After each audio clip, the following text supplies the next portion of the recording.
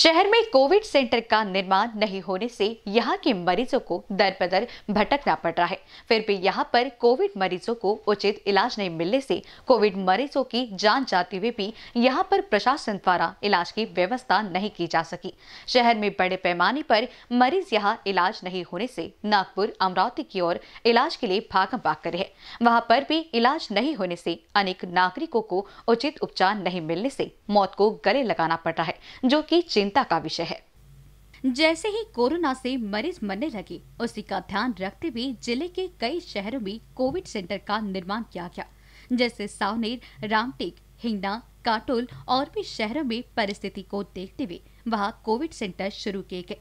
पर पार्श्वनी शहर में अभी तक कोविड सेंटर का निर्माण नहीं किया गया, जो यहाँ के नागरिकों को मौत के मुँह में ढकलते जैसा साबित होते दिखाई दे रहा है। आरोग्य विभाग भी इस बीमारी के सामने घुटने टेकते दिख रहा है, जहाँ वहाँ कोरोना के मरीज़ रोज़ाना उपचार के लिए भटकते रहते हैं। फिर भी उनको न ही बेड मिलता है, न ही ऑक्सीजन। पार्श्वनी शहर के हालात देखते यहाँ पर पहले से ही कोविड सेंटर का निर्माण करना आवश्यक था। जिस तरह अन्य शहरों में कोविड सेंटर का निर्माण किया गया है, पार्श्वनी शहर में अभी तक कोविड सेंटर निर्माण नहीं होने से आज शहर के हालात बेकाबू होते हुए भी अधिकारी नियोजन करने में ही व्यस्त दिखाई दे रहे। आए दिन रोज़ाना मरीज़ मर रहे हैं और यहाँ पर अभी तक नियोजन पर ही काम किया जा रहा है। इसी के मद्देनजर यहाँ के आमदार आशीष जायसवाल ने शहर में कोविड सेंटर जल्द से जल्द शुरू करने के लिए उप जिलाधिकारी तहसीलदार, आरोग्य विभाग के वरिष्ठ वैद्यकीय अधिकारी, डॉक्टर, बीडीओ, मुख्याधिकारी, ग्रामीण अस्पताल के अधिकारी के साथ कोविड सेंटर निर्माण के बारे में चर्चा कर निरीक्षण किया। वहीं शहर में कोविड सेंटर शुरू करने में किसी प्रकार की ढिलाई न पड़ती जल्द से जल्द शहर में कोविड सेंटर शुरू करने के निर्देश दिए हैं। पर परिस्थिति को देखते हुए आरोग्य विभाग के पास डॉक्टरों की कमी के साथ कर्मचारी की कमी तथा ऑक्सीजन, वेंटिलेटर और भी साधन सामग्री की पूर्ति जब तक सुचारू रूप से मुहैया नहीं कराई जा सकती, तब तक यह कोविड सेंटर शुरू होगा या नहीं, यह समय ही बता सकता है। फिर भी आमदार जायसवाल द्वारा शहर में कोविड सेंटर शुरू करने के लिए बरकस कोशिश की जा रही है। आमदार जायसवाल द्वारा शहर में समय रहते कोविड सेंटर का निर्माण करने के लिए अधिकारियों को सख्त निर्देश दिए गए हैं। वही अधिकारी भी यहाँ पर कोविड सेंटर जल्द से जल्द शुरू करने के लिए नियोजन करने में लगे हुए हैं। आशा है आने वाले दिनों में यहाँ सभी सुविधायुक्त कोविड सेंटर का निर्माण कर कोरोना संक्रमित मरीजों को उपचार मिल सके। सामाजिक न्याय वि- विभागाच्या ही जी इमारत आपण बांधली होती या इमारतीमध्ये अत्यंत सुंदर वेगवेगळ्या खोल्या आहे आणि अत्यंत रमणीय हा परिसर आहे. या परिसरामध्ये कोविड केअर सेंटर सुरू करण्याचं आम्ही नियोजित केलेलं आहे.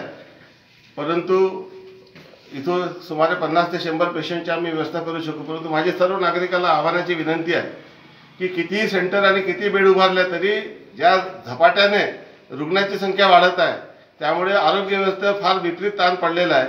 आणि या विपरीत ताण जर आपल्याला कमी करायचे असेल तर रुग्णसंख्या कमी होणे आणि ते थांबणे अत्यंत आवश्यक आहे.